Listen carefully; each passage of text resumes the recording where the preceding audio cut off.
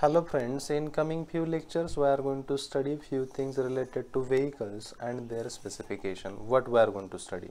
We are going to study the few basic terms related to the vehicles along with the classification of those vehicles followed by the engine and engine specification along with nomenclature which is related to the engine.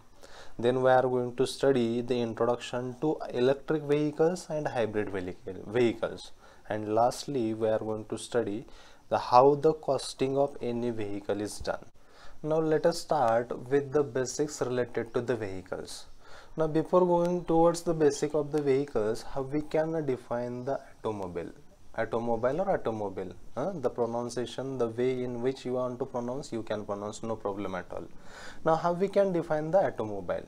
Automobile is nothing but a self-propelled vehicle a self-propelled vehicle which plies on the road. Which plies or we can say which runs on the road. That is nothing but our automobile. Now then what are the examples different examples of automobiles?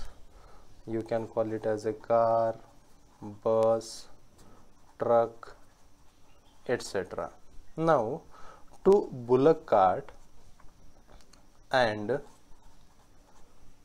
to ship. Can we call it as automobile?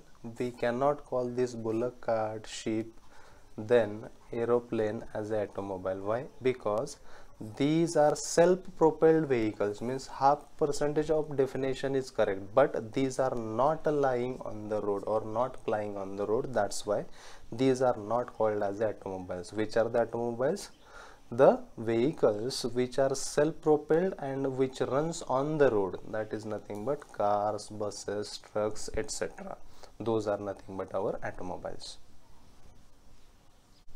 Now let us study the classification related to the automobiles. First basis of classification that is based on the purpose of the vehicle. That may be your passenger vehicle or that may be your goods vehicle or that may be your special purpose vehicle. Depending upon the purpose of the vehicle how we are going to classify the engines either passenger vehicles goods vehicles or special purpose vehicles. Now second basis of classification that is based on the load capacity. That may be light duty vehicles or that may be heavy duty vehicles. Depending upon the load capacity how we are going to classify those engines either light duty vehicles or heavy duty vehicles. Now third basis of classification that is nothing but based on the fuel used. That may be petrol engine vehicle that may be diesel engine vehicle or that may be gas engine vehicle. How we are going to classify the engines based on fuel use? That may be petrol engine vehicles diesel engine vehicles and gas engine vehicles. Now next basis of classification. Hmm, based on the fuel use that may be electric vehicles that may be electric vehicles or that may be steam engine vehicles now let us move towards the next basis of classification that is based on the drive of the vehicle. That may be left hand drive vehicles that may be right hand drive vehicles or fluid drive vehicles.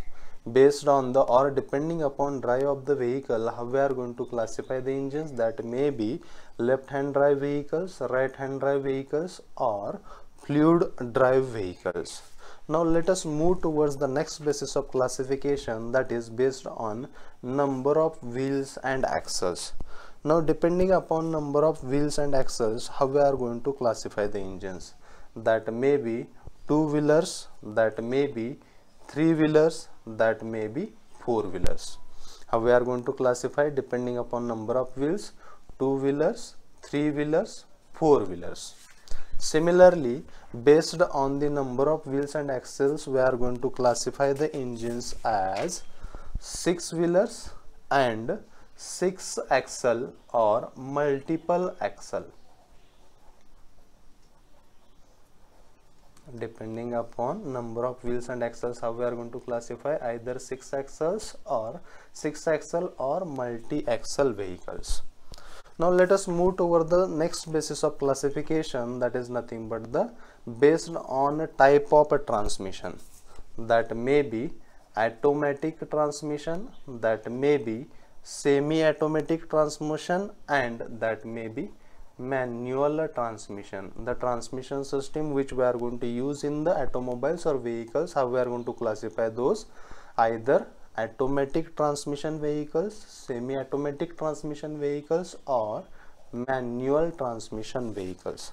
Now let us move towards the next basis of classification that is based on suspension system used that may be conventional suspension system and independent suspension system how we are going to classify the automobiles or vehicles based on suspension system either conventional conventional suspension system vehicles and independent suspension system vehicles.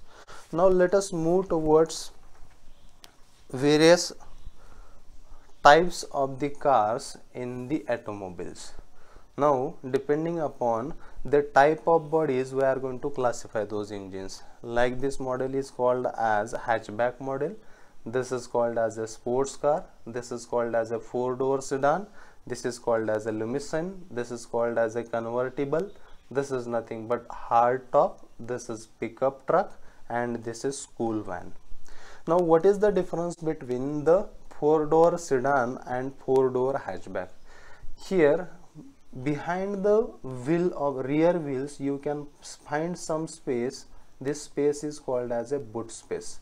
If that space is available for keeping some of the material which belongs to you that is called as a sedan. And here as we are finding four doors one two and towards back side three and four. That's why it is called as a four door sedan here to the rear side or back side of the rear wheel we are not finding larger boot space. That's why this type of models are called as hatchback models